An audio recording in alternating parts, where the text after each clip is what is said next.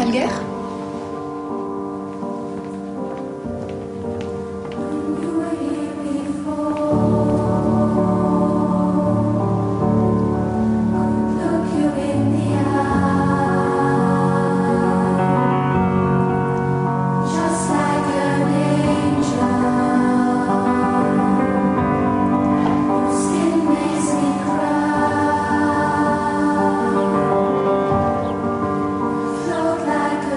Je veux que mon père revienne.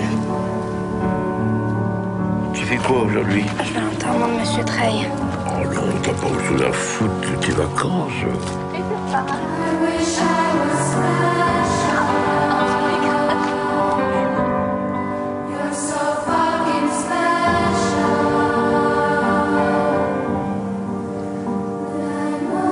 Frères, je vous le dis, sous la conduite de l'Esprit de Dieu. Car les tendances de la chair s'opposent à l'Esprit,